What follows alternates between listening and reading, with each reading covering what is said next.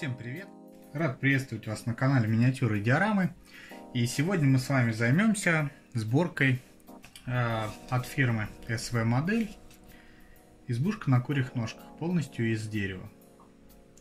Итак, для сборки нам понадобится кисточка, канцелярский нож, ножницы, надфиль или напильник, э, наждачная бумага и пинцет.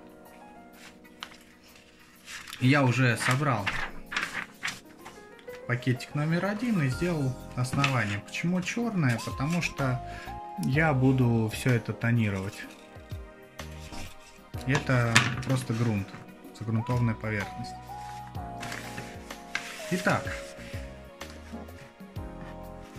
переходим мы на страницу 4. И на странице 4 нам нужно собрать нижние звенья, венцы до оконных рам. Так как здесь будет у нас идти расширение, а здесь уже будет прямая конструкция.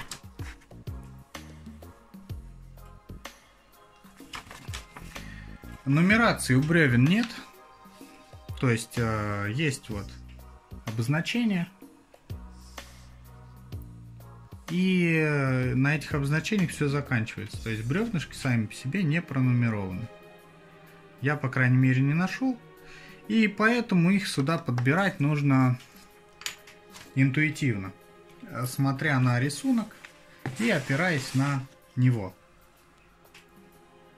По крайней мере, так делал я. Возможно, что я где-то оказался неправ. Нижние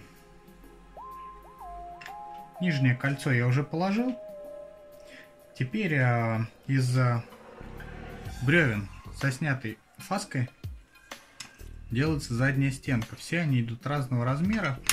И подходит сюда самая-самая маленькая. Его мы устанавливаем на место. И я это все буду приклеивать на клей Bond. Он у меня, я его перелил в такую вот баночку из-под томии для простоты использования. Просто смазываем внутреннюю часть. Можно было, конечно, использовать э, еще какой-нибудь, ну, тот же паклю, например, чтобы законопатить швы, сделать их более реалистичным. Я этого делать не буду. Пусть остается так, как остается. То есть мы вот приклеили, посмотрели на инструкцию, примерно, да, здесь, то есть, выпирает немного. Думаю, что это не совсем критично. Не думаю, что это как-то ударит прям по построениям. Следующие у нас идут венцы а, с дверным проемом. Это 9 и 10. Это самые короткие я их уже пронумеровал, вот он 9 и 10. Единственное, э, не знаю, куда именно какое ставится, потому что э, тут указано, что они в принципе равны по размеру, но это не так, они немного отличаются. То есть 10 буквально там на миллиметр подлиннее. Я думаю 10 я размещу сюда, а 9 размещу сюда. Также приклеиваем все это. И так собирается у нас э, все кольца. Излишки клея, если они вдруг есть, вот как у меня. А я убираю обычной влажной кистью, потому что Titebond он до высыхания смывается водой. Можете использовать также обычный ПВА, ничего страшного, как бы тоже отлично склеивает.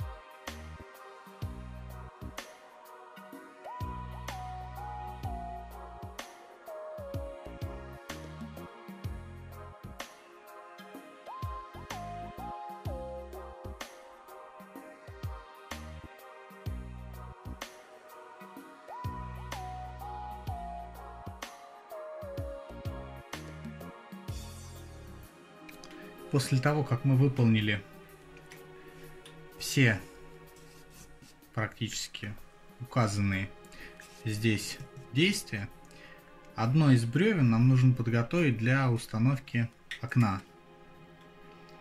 Насколько я понимаю, здесь дан чертеж в размере один к одному.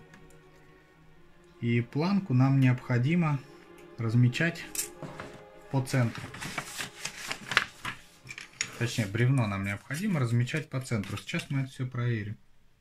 Нет, 3,9 и 4,5 с другой стороны. Сразу отметим стороны. Глубина должна быть у нас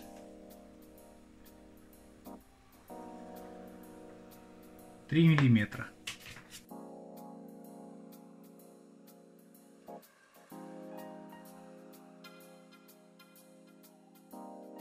Теперь надфилем. Сейчас подточим.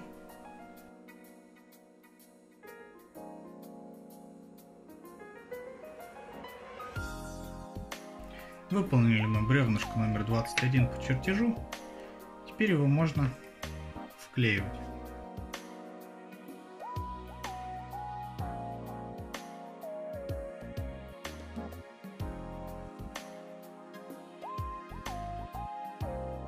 Когда мы взяли наш пакетик с бревнами номер 3, нам нужно идентифицировать бревна, если есть такая возможность мы берем, открываем следующую страницу, так как с некоторыми бревнами надо будет выполнять определенные действия.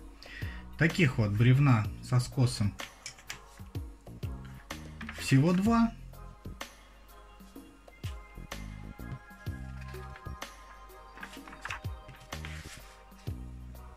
Это вот 46. Мы отмечаем, что они у нас есть.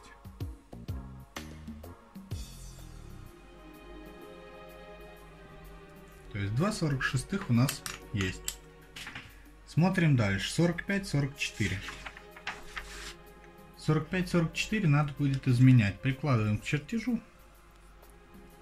И понимаем, что это 44, а это, соответственно, 45.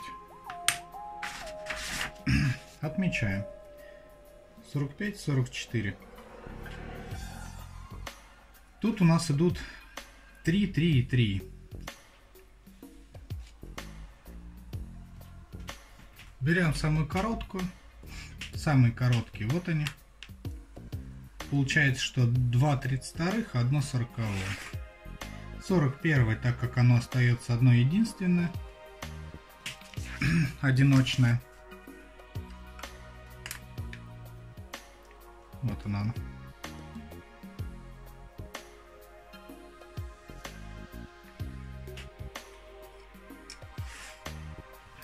Теперь 42 и 43, они у нас должны будут изменяться. Вот он 42 и 43. Соответственно, прикладываем к чертежу и понимаем, что именно эти бревна у нас являются 42, 43 и 39. Следующие три 2 29 37 и остается у нас, это единственное у нас круглого сечения, без фаски.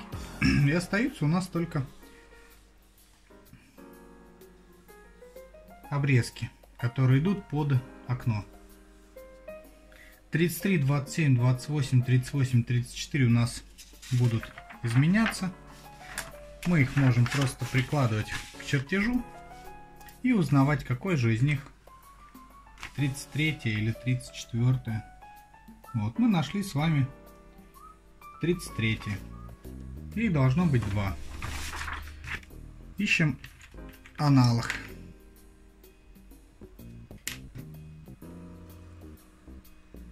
Вот второй 33. Также сейчас найдем 27, 28 и 34, 38. После того, как мы идентифицировали все бревна и обозначили их, мы начинаем изготавливать их согласно чертежу. 34, 38, то есть тут нужно снять немного совсем фаску небольшую с края. 33, 27 и 28 аналогично. А у других бревен сделать просто пропилы. 34 у нас готово. И таким же образом мы продолжаем. С этими деталями мы закончили.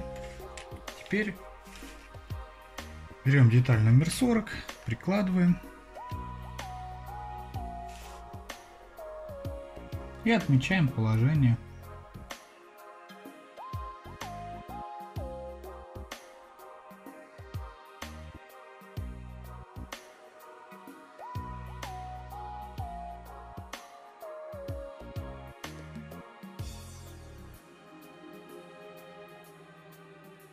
Деталь номер 40 мы закончили. Подобным образом она у нас выглядит.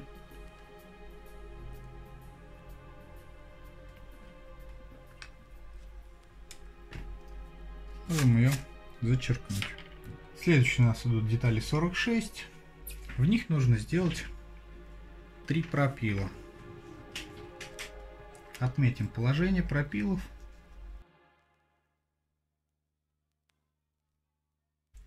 и деталь 37, в которой нужно сделать такой же вырез, как и в детали 40. Также необходимо выпилить косые пропилы 44 и 45 деталях. И вот, когда мы подготовили все наши детали с пятой страницы, с пятой шестой страницы, мы начинаем просто укладывать звеньями и все. То есть остается самое простое. У нас следующими идут по порядку 26, 27 и 28. Ищем наше 26, ищем 27, 28.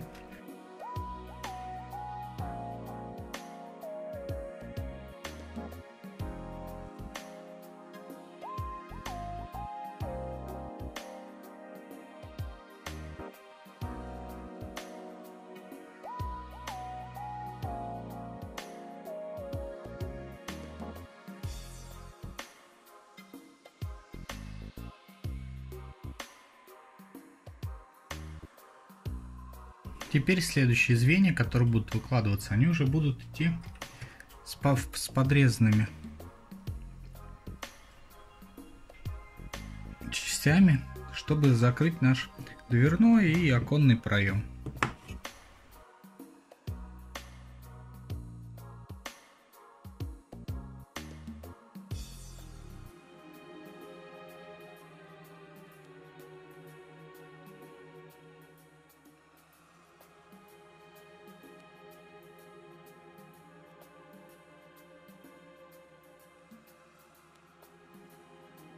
После того, как наша коробочка высохла, мы сейчас будем ее покрывать быстросохнущим лаком с цветом дуб.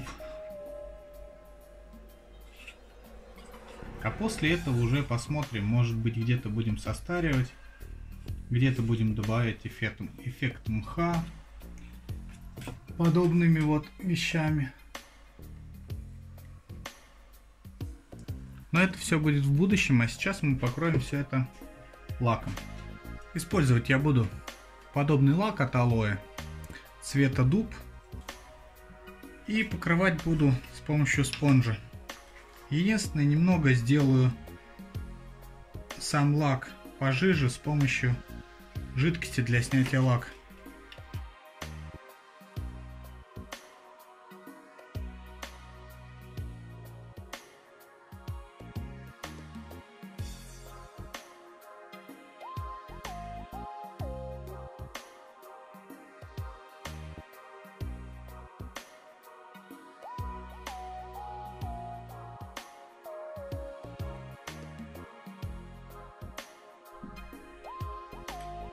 После нескольких слоев лака наша избушка начинает выглядеть подобным образом.